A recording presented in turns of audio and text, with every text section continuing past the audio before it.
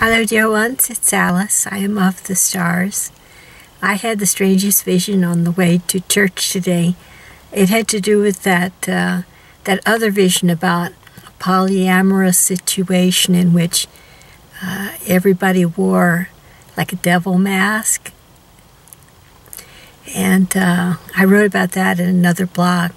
It had in the title the word mummery, I think. And I got to thinking about how I've promoted in years past the notion of uh, speaking out loud some strong affirmation or prayer uh, during the course of lovemaking as a way of uplifting and transforming the energies on earth. For instance, uh, one one affirmation that I've suggested is speaking out loud the words peace, love, and joy. Of course, this is only one of many, many ways of doing it. Hallelujah, Amen are traditional.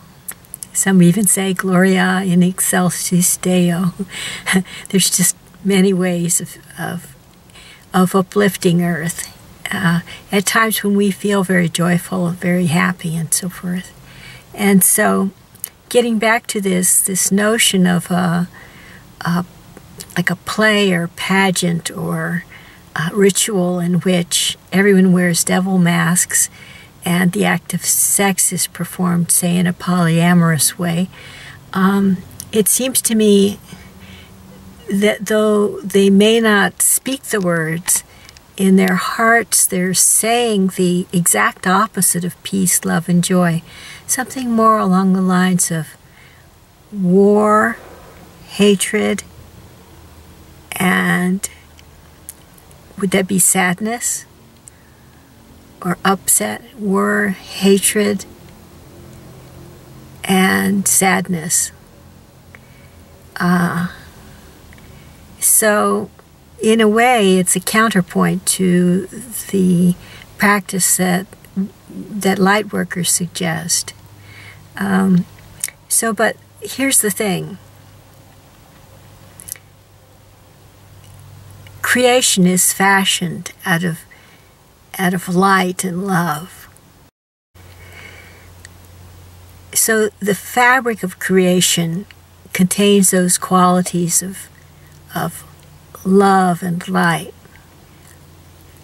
When what we do is in, in alignment with with God and His creation, with the all that is the one, then then it it affects everything everywhere and very strongly.